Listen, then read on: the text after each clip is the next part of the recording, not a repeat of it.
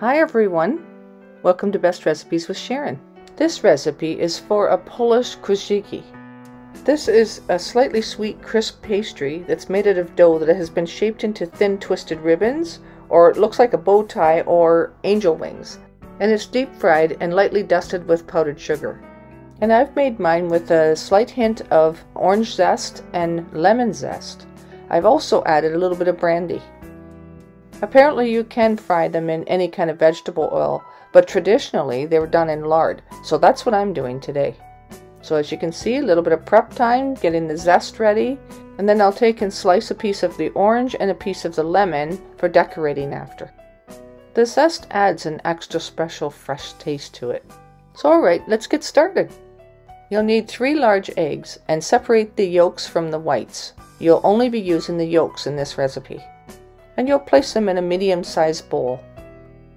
Then I add one generous tablespoon of sugar.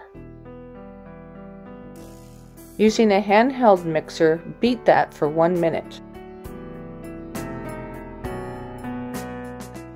Then start with adding 4 tablespoons of sour cream.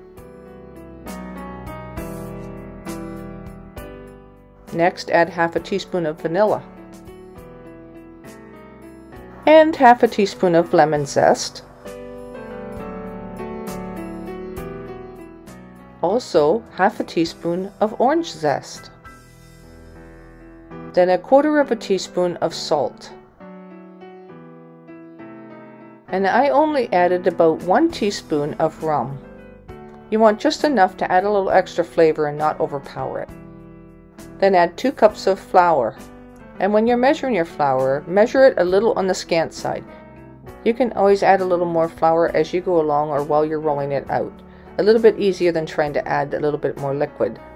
But if it does seem a little stiff, you can add a little bit of whipping cream or even a little bit more of the sour cream if you needed to, just to make it pliable and ready to roll out.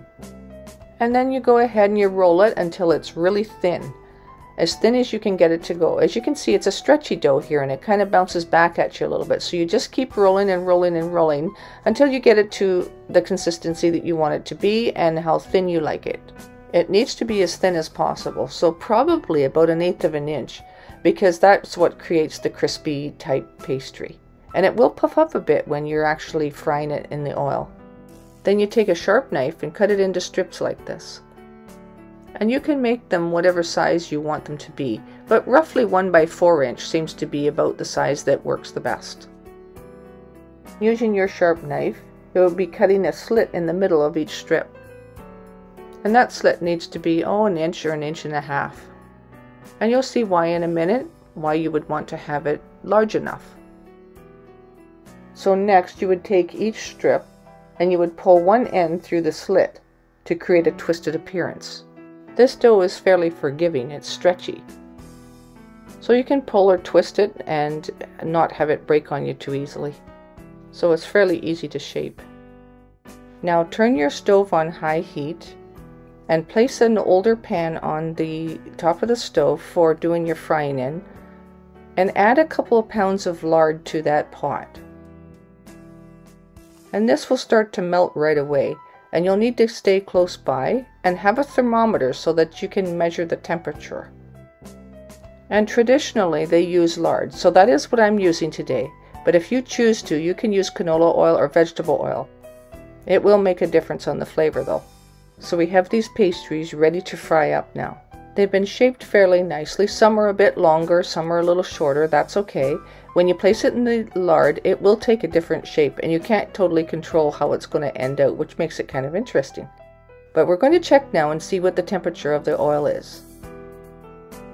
Wow, that went up there quite fast. It's already up to 360. So I'll turn my heat down a little bit to get it back down to 350 and then we'll start to fry. So obviously you have to turn your heat up and down a little bit to keep that temperature around the 350 mark. So alright, let's do this and I'm frying about three or four at a time. So frying them in batches and turning them to cook on both sides until they're golden brown. And I had a couple of forks handy to do that with, and I also used some tongs when they're a little difficult to turn. And also for removing them from the pan, the tongs work best. Now depending on the size that you cut each of them into as to how many they will make, but about three or four dozen of these. The dough will seem like a very small amount of dough when you first make it, but it does produce quite a few of these pastries because you have to roll it so thin you get quite a few out of it. And it only takes a few seconds on each side, so you have to stay right with it. It won't take long. And once they're fried up till they're golden brown like this, then you remove them and place them on some paper towels that I've got on a cookie sheet here. And I'll just let them drain onto the paper towel and cool off completely. So once they're completely cool, take and dust them with some powdered sugar. And I like to do a generous amount of that. So these will be fun to eat because they're crispy and they have nice crunch to them and then you've got the powdered sugar that will just poof out at you. And you'll wear it down the top of your shirt sometimes. But oh well, it's worth it. Store these uncovered. Don't cover them in a airtight container. You want them to stay crisp. You can make this at any time of the year, but they're common at Christmas time in many households across the world. I hope you enjoyed today's recipe, and thanks for watching.